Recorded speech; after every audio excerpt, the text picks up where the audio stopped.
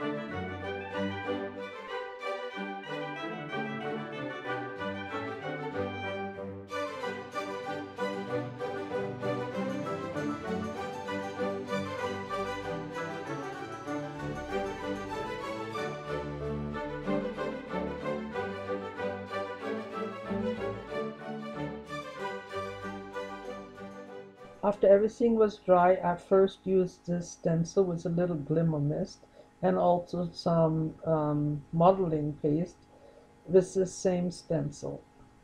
Here you can see what it looks like. I also put a little shading around the edges.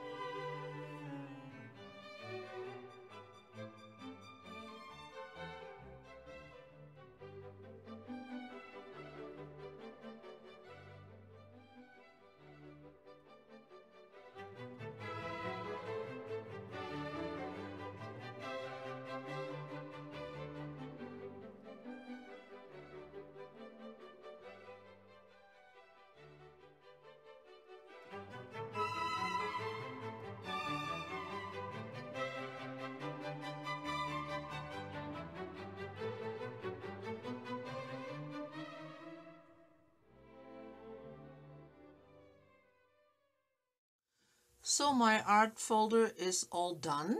I used my black sharpie to outline the golden die cut here and I also covered everything with Mod Podge.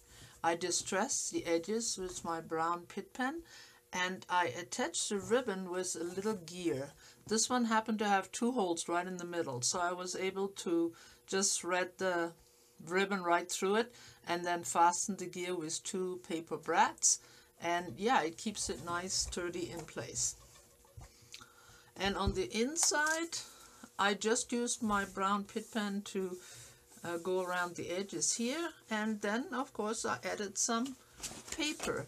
Now this paper came in this paper pad. It's mixed media.